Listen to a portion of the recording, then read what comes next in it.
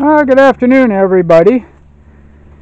It is uh, Saturday afternoon, the 16th, and you're looking at some of Beth's projects in her garden. She's transplanted lettuce. Uh, we cut some holes and uh, they concreted up the ends, and she pours some water out of our out of our pond up here, and then planted the lettuce and as you can see there's gravel in the bottom of it there and then some uh, compost. So the gravel's in the water so the roots really aren't down in the water. We'll see how it goes here. She wanted to experiment with this and wow look at this. She's done some more here too. And uh, looking so healthy and of course this is where she put all the lettuce seeds in that and she's taking them out of there and replanting them here. And looks so good. I really hope this this grows. We're going to make kind of a more continuous system uh, when the budget allows here. So instead of uh, this type we can actually pump water through and then back into the into our little pond here but she's done this also here. So lots of lettuce and we're keeping our fingers crossed. It's really looking good now. And see if uh, it will do better. Wow. And more tomato plants. And I don't know if this is dill. This might be dill here that she's got planted. Be interesting to see I don't know what she does a lot back here, but uh, she definitely more tomatoes, more tomatoes, and of course more lettuce, more lettuce, more lettuce, more lettuce.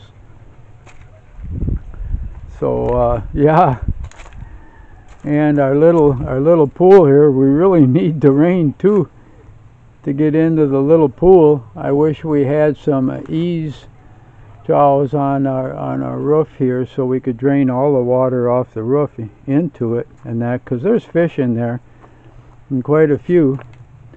But uh, it's getting so ungodly low here. And the other thing to probably show you here again all their tomato plants here but uh, the production here absolutely incredible. She's got a couple of red ones here she needs to pick. But look at, look at all the tomatoes. And she needs to pick, like I said, the red ones there before they spoil. And these are all where she's taken, God, I just, I can't believe there's so much production on just one plant alone and thriving. And right now they happen to be in the sun. Uh, they are for, oh, maybe three hours, maybe four hours during the day. But uh, all the tomatoes, yep, and different varieties. And still flowers here on these tomato plants as you can see still some flowers coming so uh, there's going to be a lot more tomatoes here. Yeah so good. Flowers here. These are the youngest ones right here. But as you can see in the back row there how many tomatoes. And of course they're all the small like we call like the cherry tomatoes. But uh, they're all good.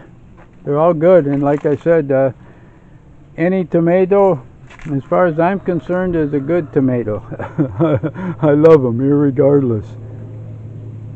But that'll give you an idea of kind of what Beth is doing back here in uh, her garden.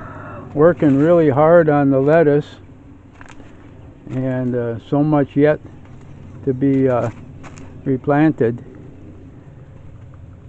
But uh, yeah, doing so good. and of course along back here all the tomatoes where she cut off shoots and planted and over here the pechay which uh, actually old enough to uh, be picked or else it actually gets too coarse and the leaves get too coarse. They should be picked when they're young like that. And some of them uh, seeding out here also. Yeah. So I just wanted to kind of bring you up to date on uh, what she's doing. Kind of wondering how my asparagus is going here. Uh, one died, but the rest of them kind of look like they're still alive here. Wow, she's got to water them. They're getting pretty dry. Everything dries out here so much. The humidity is way up today. So I'm hoping that's a sign of that there's a low pressure area coming.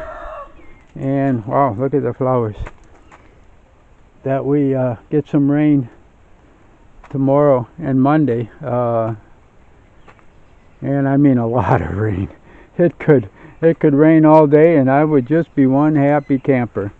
So from the back of the camera, I'm going to say goodbye for now. Uh, like and subscribe, and I'll probably be back uh, shortly again, if at all possible. Uh, we've kind of got to head into town here. There's uh, some uh, pig food we got to pick up, so we're going to head into town, and it's kind of the middle of the day late morning, early afternoon right now. Order to pick up a few things and then we'll be back here probably later this afternoon. So, yeah, God bless every single one of you.